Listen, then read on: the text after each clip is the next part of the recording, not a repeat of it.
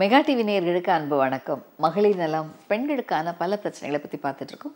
இன்று நேர்கள் தங்கள் சந்தேகங்களை கடிதம் மூலமாகவும் எஸ்எம்எஸ் மூலமாகவும் இமெயில் மூலமாகவும் யூடியூப் மூலமாகவும் நமக்கு எழுதியிருக்காங்க. நேர்களின் சந்தேகங்களுக்கான விளக்கங்களை இந்த நிகழ்ச்சியில் காணலாம். முதல்ல சாந்தி என்ற நேர் எழுதியிருக்காங்க. டாக்டர் ஐவை பண்ணதுக்கப்புறம் என்ன ஃபுட்டு சாப்பிடலாம்? நீங்கள் எப்பயும் சாப்பிட சாப்பாடு சாப்பிடலாம் சாந்தி. ஐஒய்க்கும் இதற்கும் ஒரு ஸ்பெஷலான சாப்பாடுகள்லாம் தேவையில்லை.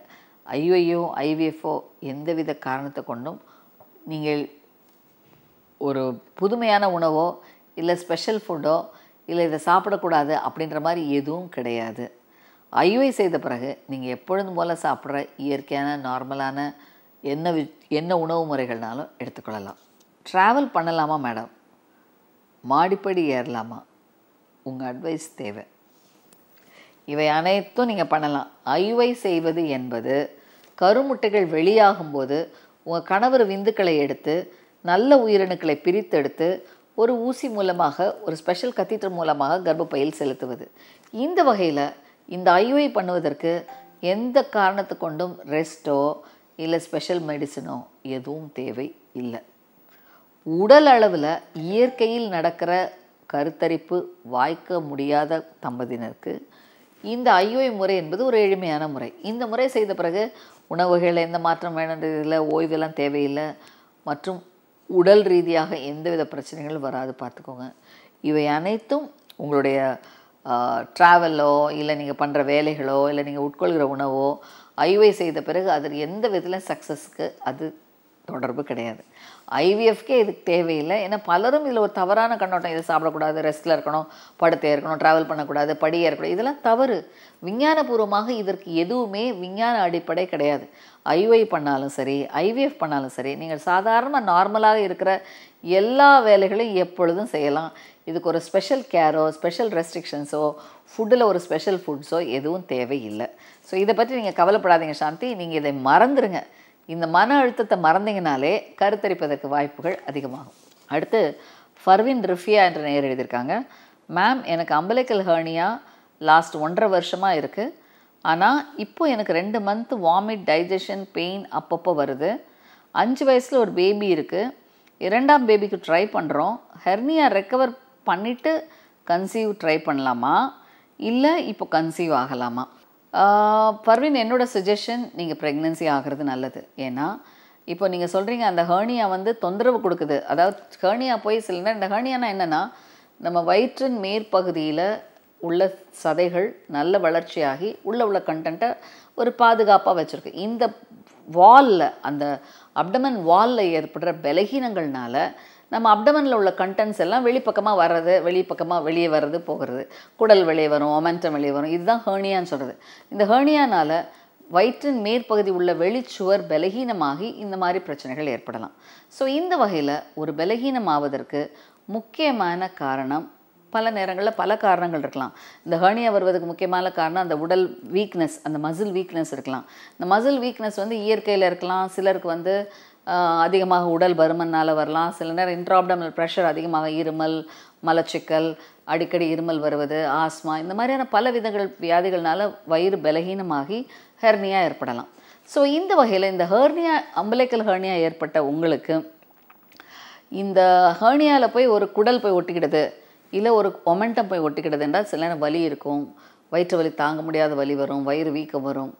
இந்த மாதிரியான ஹேர்னியாவில் போய் ஏதாவது ஒட்டி கொண்டதென்றால் கண்டிப்பாக இதனை அறுவை சிகிச்சை செய்து சரி செய்து கொள்ளுங்க. ஆனால் இது ஒன்றும் ஒட்டி கொள்ளலை அடைப்பாகலை அப்படின்னு இருந்தால் உங்களை பொறுத்த வரைக்கும் பர்வேன் நீங்கள் ஒரு ப்ரெக்னென்சி வாங்க. ஏன்னா நீங்கள் ப்ரெக்னென்ட் ஆகும்போது டெலிவரி ஆகும்போது இன்னும் கூட வயிறு பலகீனமாகும். இன்னும் கூட உங்களோட அப்டமன் வால் வீக் ஆகும். ஏன்னா மறுபடியும் உங்களோட யூட்ரஸ் பெருசாகும் போது வயிறு பெருசாகும். இதனால் உங்களோட அந்த அப்டமன் வால் பலகீனமாகும். இன்னும் அந்த ஹேர்னியா மறுபடியும் ரெக்கர் ஆகிறதுக்கான சான்சஸ் உண்டு. ஸோ கர்ப்பமாகி பிரசவமான பிறகு குடும்ப கட்டுப்பாடு பண்ண நீங்கள் ஆப்ரேஷன் பண்ண வேண்டியது இருக்கும். அறுவை சிகிச்சை நீங்கள் ஆப்ரேஷன் மூலமாக குழந்தை பேர் பிறந்திருந்தால் சில நேரம் திரும்பவும் சி சிசேரியன் செய்ய வேண்டியிருக்கும். ஸோ கண்டிப்பாக நீங்கள் ப்ரெக்னென்சி செகண்ட் ப்ரெக்னென்சி ஆகிட்டிங்கன்னா குழந்தை பிறந்தவுடன் ஃபேமிலி பிளானிங் செய்யும் பொழுதே இந்த ஹேர்னியா ரிப்பரையும் சரி செய்வதன் மூலமாக உங்களோட அப்டமன் வால் திரும்பவும் ஒரு கர்ப்பத்தை எதிர்நோக்கி பலகீனம் ஆகாமல் இருக்கும். இந்த அறுவை சிகிச்சை செய்யும் எளிமையான முறை தேவையில்லாமல் ரெண்டு முறை அறுவை சிகிச்சை செய்ய வேண்டிய அவசியமும் தேவையில்லை. ஸோ கண்டிப்பாக பர்வீன் நீங்கள் வந்து ப்ரெக்னன்சி ட்ரை பண்ணுங்கள் கன்சீவ் ஆகி டெலிவரி ஆனவுடனே இந்த ஹெர்னியாக்கு குடும்ப கட்டுப்பாடு செய்வதோடோ இல்லது அல்லது உங்களோட சிசரியன் செய்யும் பொழுதோ இதனையும் சேர்த்து சரி செய்து கொள்ளுங்கள் கண்டிப்பாக நீங்கள் நல்ல முறையில் இதை மனதில் கொண்டு உங்களுடைய கர்ப்பம் பிரசவம் சிசேரியன் இவற்றை பார்த்துக்கொள்ளுங்கள் அடுத்து சார்லஸ் சேவியர் என்ற நேர் எழுதியிருக்காங்க.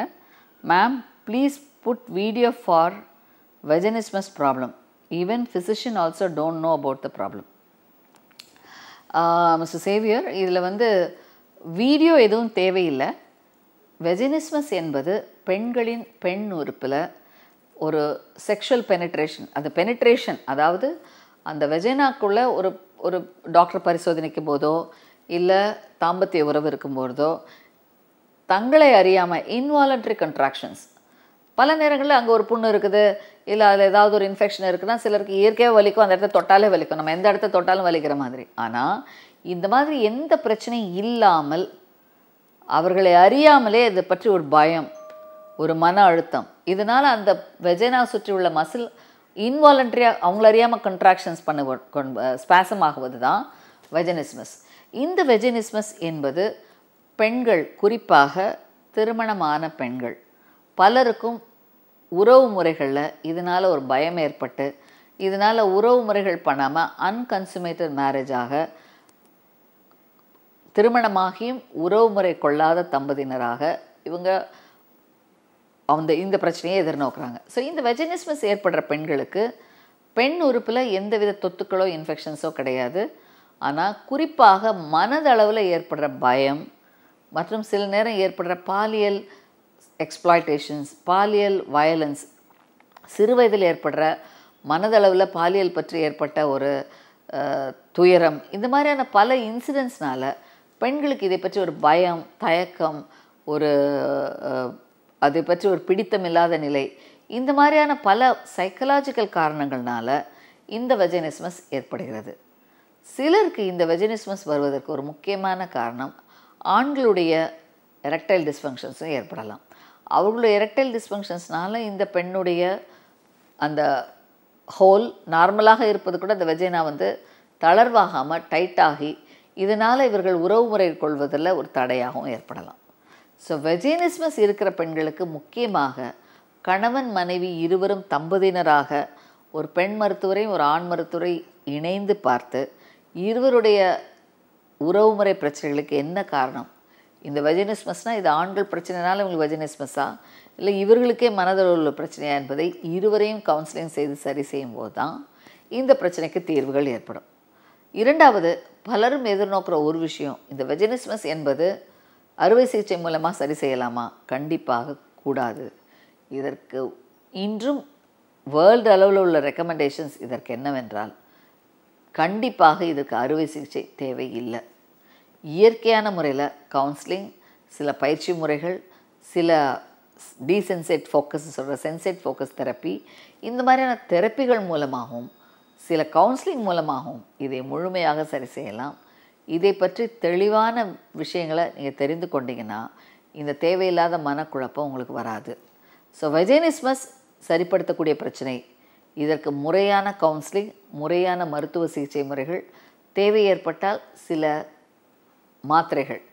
இதன் மூலமாக இதனை முழுமையாக சரி செய்யலாம். கவலைப்படாதீங்க அடுத்து இந்துமதி என்ற நேர் எழுதியிருக்காங்க மேம் எனக்கு மேரேஜ் ஆகி ஒன் இயர் ஆகுது. இன்னும் பேபி இல்லை. எனக்கு செல் எனக்கு எல்லா மந்த்லேயும் பீரியட்ஸ் ரெகுலராக வருது. ஆனால் டுவெண்ட்டி எயிட் டேஸில் வடு வருது. இதுக்கு பதிலாக முப்பத்தைந்துலேருந்து முப்பத்தெட்டு நாளாக தான் பீரியட்ஸ் ஆகுது. எனக்கு கர்ப்பம் தரிக்க ஒரு நல்ல வழி சொல்லுங்கள் மேடம் இந்த மாதிரி உங்களோட பிரச்சனை வந்து நீங்கள் திருமணமாகி ஒன் இயர் ஆச்சு. இன்னும் தாம்பத்தியம் இருக்கிறீங்க நல்லா இருக்கிறீங்களான்னு தெரியல. ஆனால் ஒரு விஷயம் உங்களுக்கு நான் சொல்கிறேன் என்னென்னா ஒரு வருட காலம் எந்தவித தடையும் இல்லாமல் தொடர்ச்சியாக நீங்கள் தாம்பத்தியம் இருந்து தாம்பத்தியத்தில் எந்த பிரச்சனையும் எதுவும் இல்லை என்றால் கண்டிப்பாக ஒரு வருஷத்துக்குள்ளே குழந்தை பேர் பெற முடியும். இந்த உறவு முறைகள்லையோ இல்லை நீங்களாக வந்து ஏதோ ஒரு பிரச்சனைனால கருத்தரிப்பை தள்ளி போடணுன்றதுக்காக தாம்பத்தியமே பண்ணாமல் இருந்தீங்கன்னா பல நேரங்களில் இந்த பிரச்சனைகள் மிக அதிகமாக ஏற்படும். ஸோ கண்டிப்பாக உறவு முறைகளை நீங்கள் முறையாக வைத்துக்கொள்வதற்கு கண்டிப்பாக இந்த தாம்பத்தியம் முக்கியம் கர்ப்பம் தரிப்பதற்கு. ஒன்று. ரெண்டாவது நீங்கள் முப்பத்தைந்து நாள் முப்பத்தெட்டு நாள் தள்ளி வச்சுன்னு சொல் வந்தது என்று சொல்கிறீங்க குறிப்பாக ஒரு பெண் திருமணமானவுடன் கர்ப்பத்தை எதிர்நோக்கும் போது பல நேரங்களில் இந்த இரகுலர் பீரியட்ஸ் ஏற்படும். இதற்கு முக்கியமான காரணம் மன அழுத்தம் இமோஷனல் ஸ்ட்ரெஸ் புது வீடு புது இடம் புது உறவு முறைகள். இந்த மன அழுத்தமே சில பெண்களுக்கு பிரச்சனைகள் உண்டாக்கலாம். சில பெண்களுக்கு இந்த வெஜினல் வால்ஸ் வந்து ரொம்ப டைட்னஸ் ஜாஸ்தியாகி இதனால் அந்த பெனிட்ரேட் பண்ணும்போது பெயின்னாலே சரியாக பண்ண முடியாத அளவு பிரச்சனைகள் ஏற்படலாம். ஸோ இந்த வகையில் திருமண மாணவரன் மாதவிலக்கு தள்ளி போவது என்பது பல நேரங்களில் மன அழுத்தம் அதிகமாக ஏற்படும்போது இந்த மாதிரி பிரச்சனைகள் வருகிறது. பல பெண்களுக்கும் இந்த மன அழுத்தம் காரணமாக இரகுலர் பீரியட்ஸு கர்ப்பமாக இருப்போமா இந்த மாதம் கன்சீவ் ஆயிருவோமா நம்ம கூட கல்யாணம் ஆனவங்க அவங்களுக்கு மூணு மாதத்தில் வந்துருச்சு நமக்கு அஞ்சு மாதம் ஆச்சு இந்த மாதிரி மன சிந்தனை இந்த மாதிரி மனக்குழப்பமே ஹார்மோன் இம்பேலன்ஸ் ஏற்படுத்தலாம். இதனால் கருத்தரிப்பதில் தடைகளும் ஏற்படலாம். ஸோ கண்டிப்பாக உங்களுக்கு தேவை இந்து இந்துமதி நீங்கள் பக்கத்தில் ஒரு டாக்டரை அணுகி முறையாக பரிசோதித்து என்ன காரணத்தினால மாதவிலக்கு தள்ளி போயிருக்கு?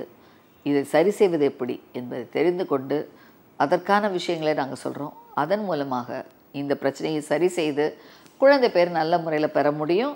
தேவையில்லாமல் மன அழுத்தம் அதிகமாக அதிகமாக கவலை தான் வரும். அதனாலே குழந்தை பேர் பெறுவதில் தடை ஏற்படும். அடுத்து ஏஞ்சலினா என்ற நேர் இருக்காங்க ஹாய் மேம் எனக்கு மேரேஜ் ஆகி சிக்ஸ் மாதம் ஆகுது. பேபி ட்ரை பண்ணுறோம் பட் ஃபெயில் ஆகுது. இப்போ டேட் ஆகி இன்னும் ஐந்து நாள் டேட் வர ஐந்து நாள் இருக்கிறது.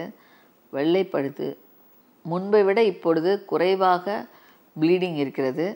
அதுக்கு என்ன காரணம் சொல்லுங்கள் மேடம் ஏஞ்சலினா உங்களோட பிரச்சனை வந்து மேரேஜ் ஆகி ஆறு மாதம் தான் ஆகுது. பேபிக்கு ட்ரை பண்ணுறீங்க அதனால் நீங்கள் இதை பற்றி கவலைப்படாதீங்க.